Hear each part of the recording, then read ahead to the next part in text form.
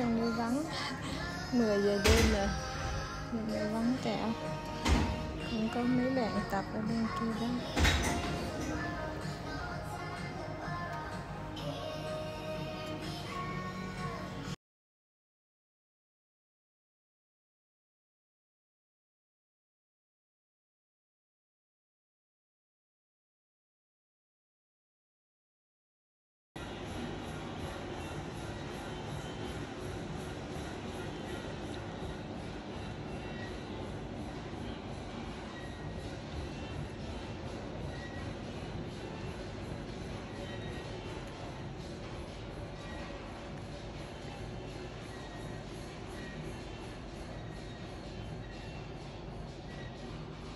Này nó lắm, nên không dám quay cùng linh vậy.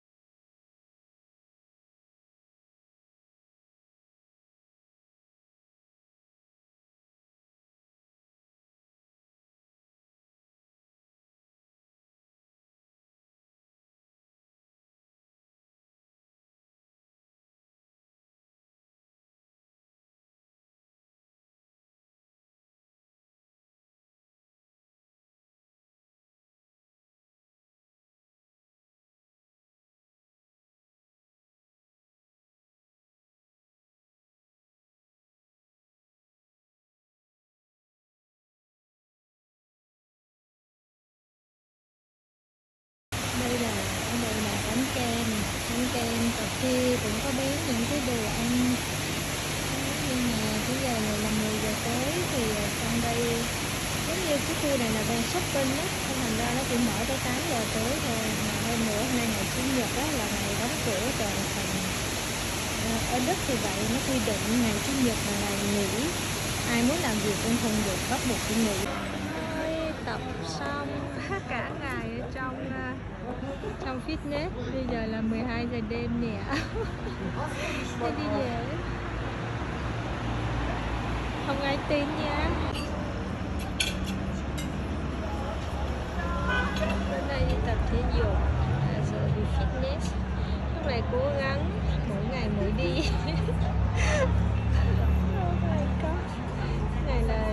trên lầu của nhà hàng à, Steakhouse.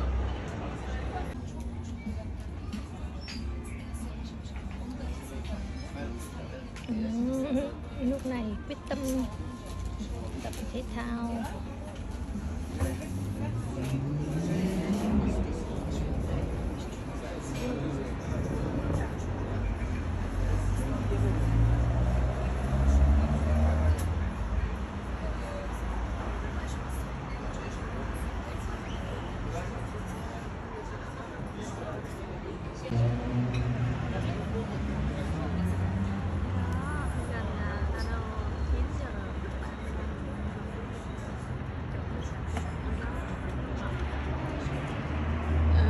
vui tư luôn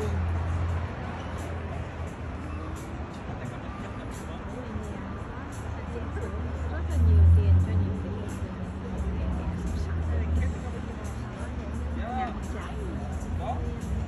ý định của tụi khủng bố đó thì phát hiện cả chục năm trước đó, là nó phi nguyên một chiếc xe tải vô. Hai người lúc chỗ này luôn và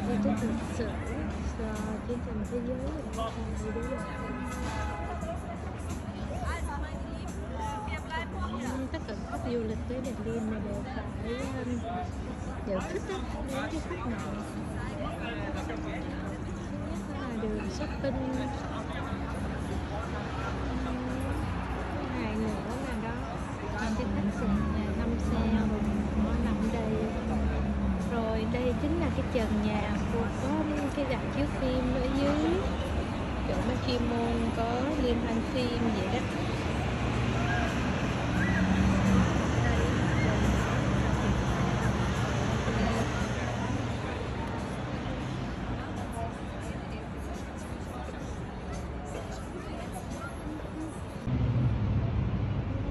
Đây, cái nhà thờ đây đó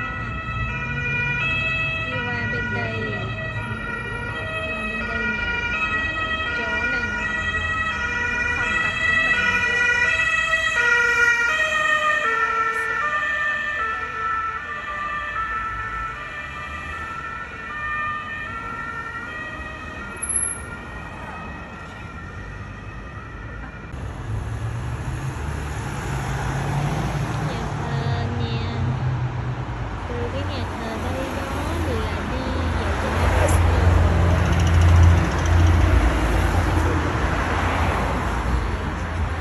đi xong cái con KFC này nè học tập của mình rất là tiện lợi ngay trung tâm cũng gần nhà luôn quay về nhầm nha cái phòng tập á, thì nó mở cửa 24 trên 24 luôn. Vậy đó đó đó đó, đó quay trở lại cái nhà thờ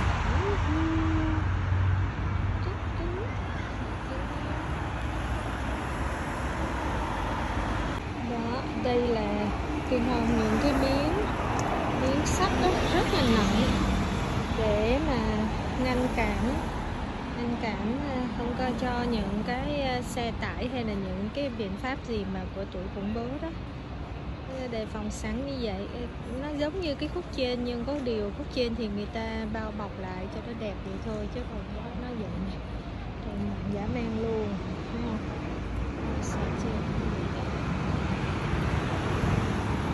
Thì trong đây hay tổ chức những cái hội chợ trình gì đó.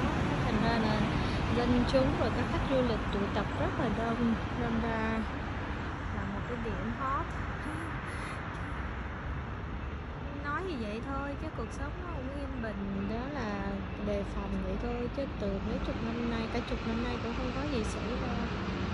Ngoài những cái ờ, ngoài những cái ờ, cái hàng rào như vậy đó thì là ồn những cái thanh như vậy nè. Cuối phần nhà nó ờ, chia đôi chia ba cái con đường ra để cho mà xe không có thể chạy vào tốc độ mạnh à, chạy lẹ đó. Vô đây được à, bắt buộc đến đây là phải chạy chậm. Dù có gì xảy ra nó cũng không có đem lại những cái à, tổn thất gì nhiều. Cái miếng sắt cái vậy này nhiều hơn đó những cái cặp này là bao bọc vòng quanh cái khu vực này luôn. Nhìn thì nó có chút xấu quảng canh của thành phố, nhưng mà thì nó an toàn an toàn cho cho người dân đó. thực ra cuộc sống ở đây cũng rất là là an toàn về mọi mặt, giống như là đó, về an ninh nè, về quỹ phúc lợi nè đó. mọi cái ờ, đều rất là thanh bình chiến tranh đồ này nọ cũng nghe đó cũng chả có ảnh hưởng gì cả. Không phải không ảnh hưởng thì cũng không đúng nhưng mà um, tin tức đưa thì vậy thôi chứ còn à, thực tế người dân thì vẫn sống rất là bình thản. Không gì hết. Đó, bây giờ đi vô chỗ tập.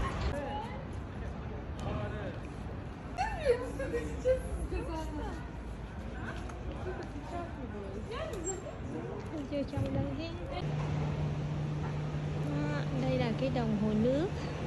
Mình nhìn những cái cục nước của nó thì mình sẽ biết à, bao nhiêu giờ vậy đó. À, bao nhiêu giờ bao nhiêu phút nè như thế này nha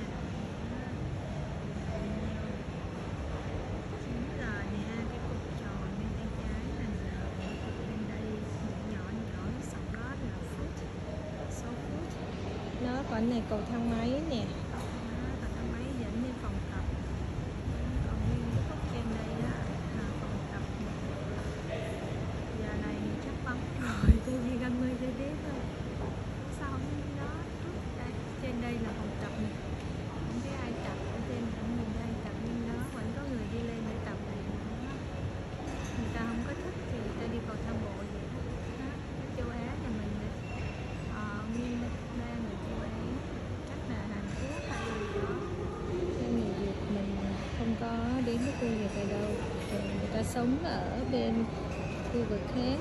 Này là ngay trung tâm của giống như là Tây Berlin rồi.